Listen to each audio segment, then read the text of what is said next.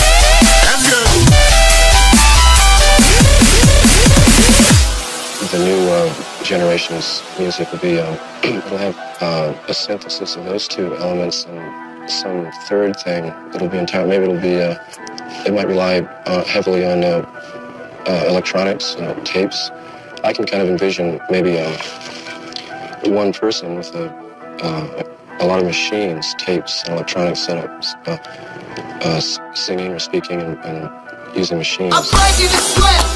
It's alright.